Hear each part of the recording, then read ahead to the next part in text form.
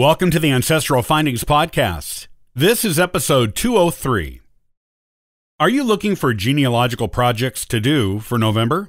Consider these 10 seasonal gems to get your creative genealogy energy going. You'll have a ball.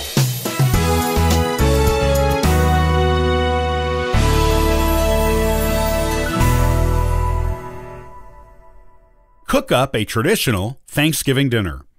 Choose a generation of your family in America.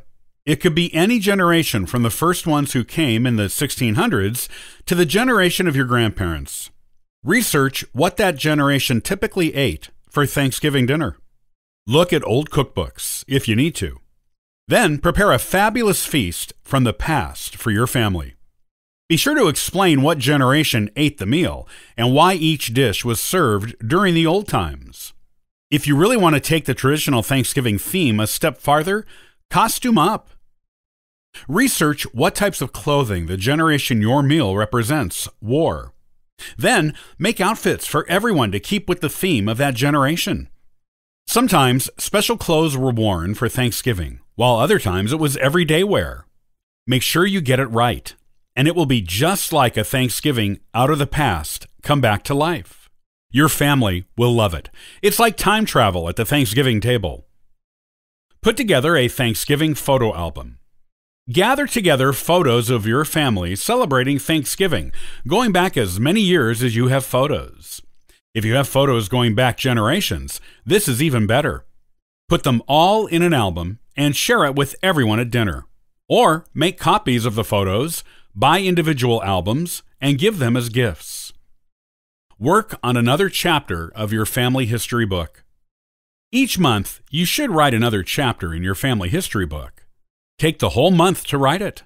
Eventually, your book will be done, and probably before you know it. Once you've completed one book on one family line, start on another one. Begin a new line of research. With the days getting shorter and the weather getting colder, it is a perfect time to stay indoors and start working on a new family line you have previously neglected. Get to know some new ancestors this month. They'll be glad to meet you. Volunteer at a school. Teachers often like to do special things before the holidays. Volunteer at your child's school or at a local college to talk about the history of your town, old Thanksgiving traditions, or the genealogy of your own family and how the students can trace their own. Work on those Lineage Society papers. Now is the time to work on Lineage Society papers you may have been neglecting. Get them finished and get your membership approved. Read a new genealogy book. Colder weather and more time indoors makes it the perfect time to read another genealogy book or magazine and increase your research skills. Volunteer at a local archives or museum. Archives and museums often need volunteers. Start during the holiday season while the crowds are small, so you can learn all you need to know to be a good guide.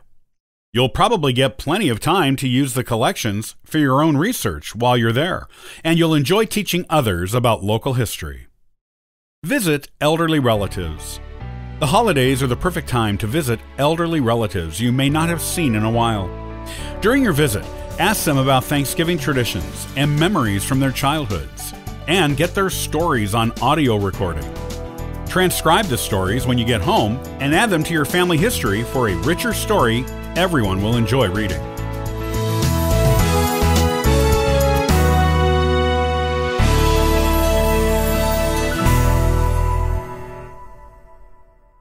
Are you a beginning genealogist?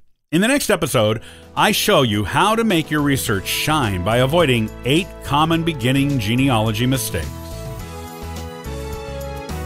Copyright by Ancestral Findings, all rights reserved.